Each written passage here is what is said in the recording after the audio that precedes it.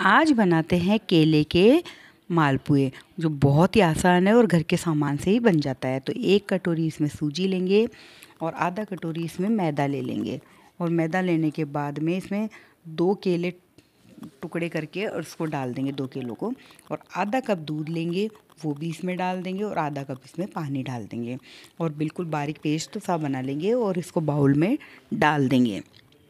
डालने के बाद में इसमें चार चम्मच नारियल का बुरादा डाल देंगे और बारीक करी हुई पिसी हुई इलायची का पाउडर डाल देंगे इसमें।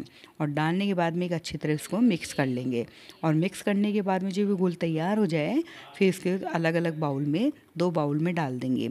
और आप इसमें इसमें चार ड्रॉप्स तो रेड कलर के डाल देंगे एक बाउल में और एक बाउल में चार ड्रॉप्स इसमें ग्रीन कलर के डाल देंगे।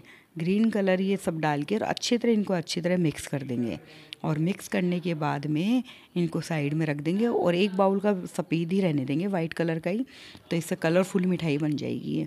और फिर इसमें आधा गिलास पानी का डालेंगे और एक कटोरी इसमें चीनी डाल देंगे और बिल्कुल गुलाब जामुन जैसी चाशनी बना देंगे।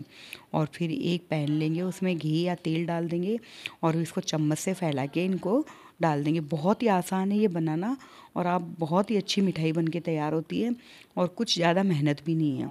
और फिर ये जब पक जाते हैं तो ये अपने यहाँ पे ऊपर आ जाते हैं और ऊपर आने के बाद में इनको पलट देंगे और पलटने के बाद में इनको एक प्लेट में निकाल लेंगे और निकालने के बाद में थोड़ा हल्का सी ठंडा करेंगे और फिर जो चाशनी बनाई थी उसके अंदर डाल देंगे और डालने के बाद में इसको 10 से 15 मिनट तक रहने देंगे और फिर ये बन के तैयार हो जाती है मिठाई और फिर इसको गुलाब की पत्तियाँ और पिस्ते से और जो नारियल का बुरादा उसमें डाल के और इसको सर्व करेंगे। बहुत